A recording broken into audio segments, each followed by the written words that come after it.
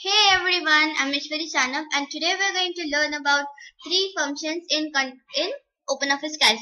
So the three functions are sorting, filtering and highlighting data that is also known as conditional formatting. So first of all here you can see I have drawn a table over here and it, it is containing names of the students, name of the subject and the marks scored by the students. So now what I am going to do is first is sorting. So sorting means simply arranging the data in ascending or in descending manner whether it is date, time, text or number. So here I have um, selected this uh, this column. And now let's go to data. Now sort sorting and current selection. And I want in ascending. So okay. Here you can see now it is in ascending order. First B then D then G then H and then R. So now the next one.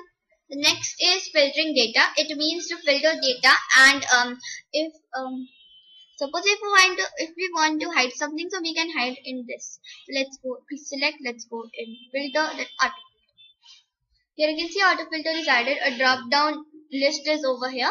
Now if I go to students, I only want day or I only want okay. Now if I want gene, if I want all over here, so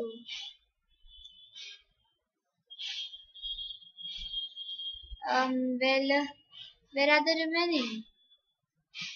I guess that is one. Oh, so all are here. So this is filtering the data. Now the last thing that is conditional formatting. One minute. Okay, so conditional formatting simply means to highlight the data. Now if I want to highlight the data or the marks that are above 80, or that are above 93 let's take 90 94 let's take or let's take 95 that would be better. So what i'm going to do is i'm going to select the data and click on format and then conditional formatting. And then i'm going to um create greater than or equal to 94 new style and from background I would like here blue color. Okay so okay. So you can see now it is blue color is added to the marks that are above of that are above 94 now again i have selected it. Let's go in format. Then let's go in conditional formatting and here i want less than or equal to 93 so new style. Here i want color as yellow. And okay so okay.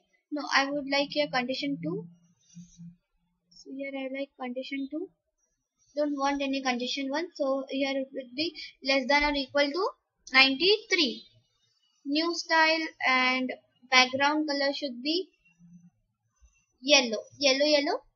Dirty fellow. So now okay. So you can see yellow color is added